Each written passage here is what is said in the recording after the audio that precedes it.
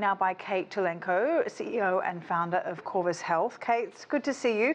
Now, regions of Latin America already are some of the most dangerous in the world for people who wish or need to terminate a pregnancy. Why is that? Mainly in Latin America, it's the influence of the Catholic Church because the Catholic Church believes in uh, protecting life from um, from conception to, to natural death. So that's why you see it so often in Latin America. Now, since 2020, Mexico, Colombia, and Argentina have decriminalised or legally uh, legalised voluntary abortion. But there are concerns in Latin America that abortion rights could face setbacks similar to the ones we've seen here in the US. How so?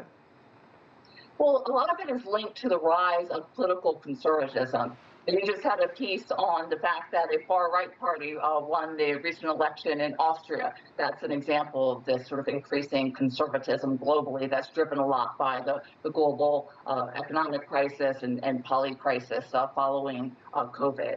And we also are seeing a lot more of this in countries that are uh, that feel threatened by migration. Uh, for example, pretty much most countries in Europe and in Latin America as well are below fertility rate. They're, they're below replacement rate fertility, which means that if their population is going to grow, they have to rely on migration. And so we're seeing in many uh, countries have pushed back against this. And, and one of the ways that people think that they can increase the fertility rate is to ban or restrict access to abortions. Now, in terms of illegal abortions or, you know, seeking out an abortion administered by someone who's obviously not legally allowed to do it, can you talk a little bit about the risks that women face when, when seeking those kinds of abortions once it's pushed underground? Yes.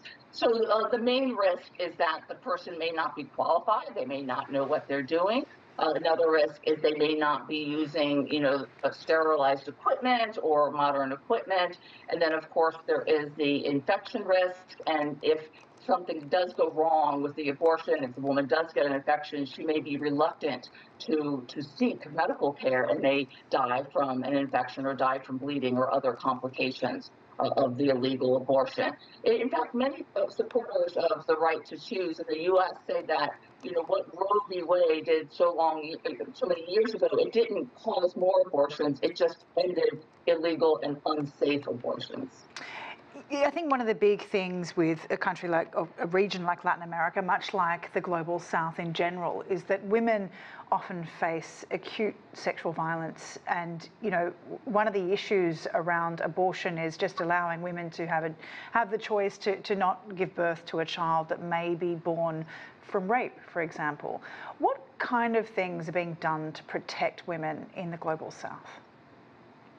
Well, you mean from rape or, or, or to have Protect, access to abortion? There you go, yes.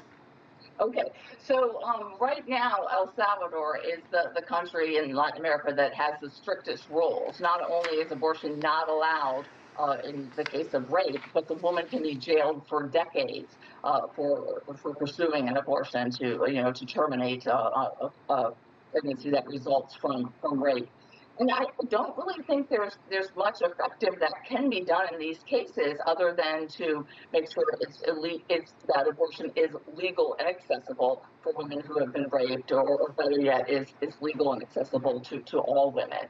But it's it's really very difficult to you know pursue a, a more targeted approach. All right, Kate Tulenko, really appreciate your time.